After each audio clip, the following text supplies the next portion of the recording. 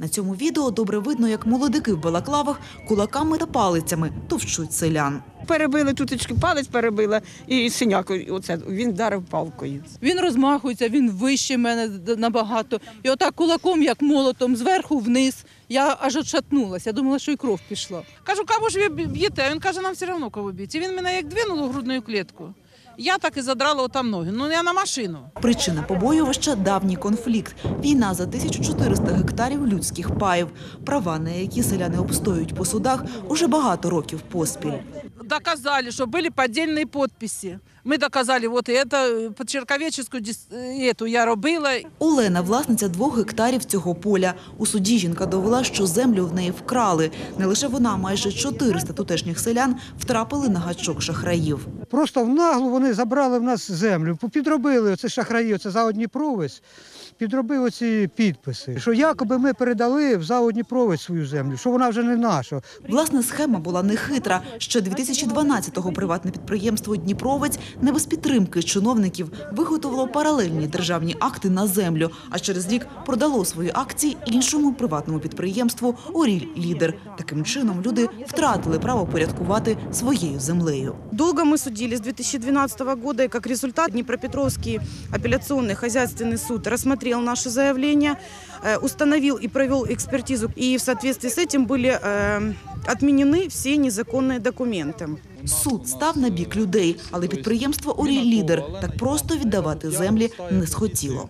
Мы подписали с ней договор. Заключение аренды сроком на, ну, у- с кем на 5, с кем на 10 э, лет. Все, мы э, обрабатываем эту землю. Представники фірми приїхали обробляти лани і про всяк випадок із собою прихопили правий сектор. Они мотивируют тем, что якобы собственники заключили с ними э, договора аренды. Эти факты не соответствуют действительности. Після побиття люди одразу викликали міліцію. А щоб бійці правого сектору не втекли, супроводжували автобус на власних автівках. Це добровольцям не сподобалося. Били, получается, руками, ногами, дубинками, э, камнями. Вылетела насквозь, уже заклеили. Заводили бензопилу даже. Ну, естественно, лиц не, не было, все в балаклавах. Пережил, конечно, шок. У правому секторі вікнам пояснили, думали, що їдуть захищати справжніх власників землі. Натомість стали жертвами провокації. А сварка із селянами щинилася, бо ті їх самі спровокували.